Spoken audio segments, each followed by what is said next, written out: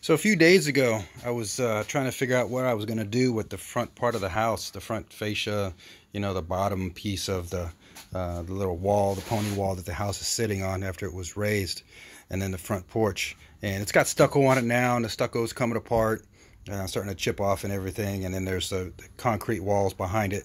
So, you know, I was trying to figure out, well, do I just scrape that off? Do I restucco it? And I went up to Home Depot, and they had these on clearance and they were like four, uh, 17 18 dollars a box.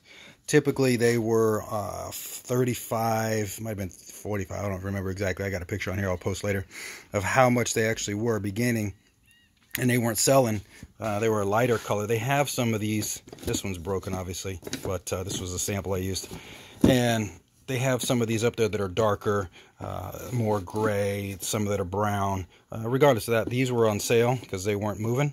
So, uh, you know, I talked to the manager over there and obviously I threw out a, a low bid, low bid, uh, you know, bottom feeder bid of a dollar a box. Hey, you got to take a chance, right?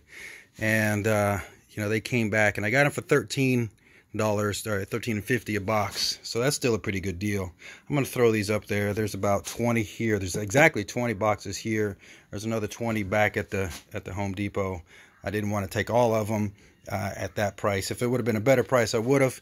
Uh, the only problem is if I go to use the other 20 boxes at another job and I run out, then I got to get you know something that kind of matches it or close to it, and then pepper, salt and pepper those other colors between these.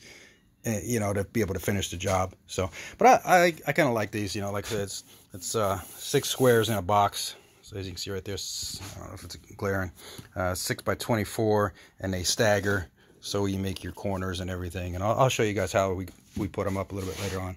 But uh, just thought I'd throw that out there and show you what I'm working with on that.